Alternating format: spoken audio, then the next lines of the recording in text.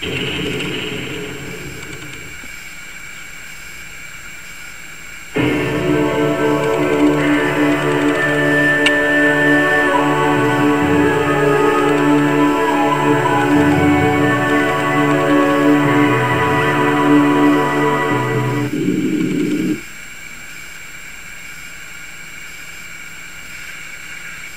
recovered some data from the alien ship at the crash site. The coding shows the ship's been repaired by someone. It's operational, though the navigation coordinates have been erased. Time lock effect terminated.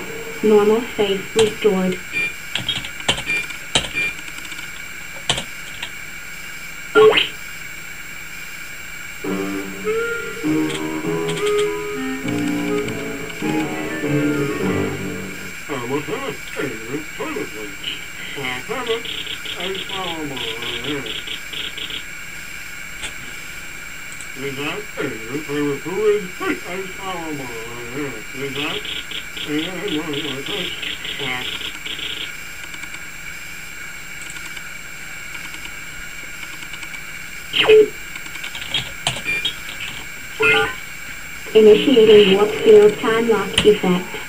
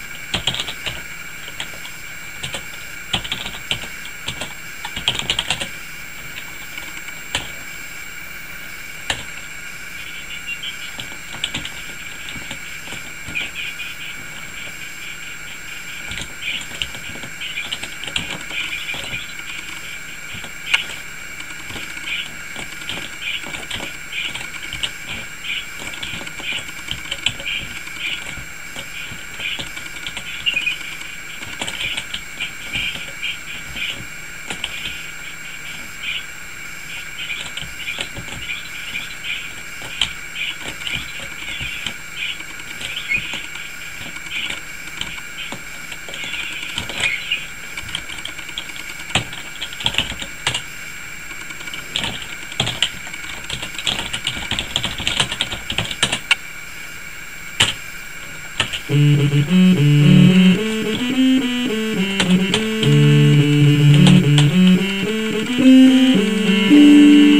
you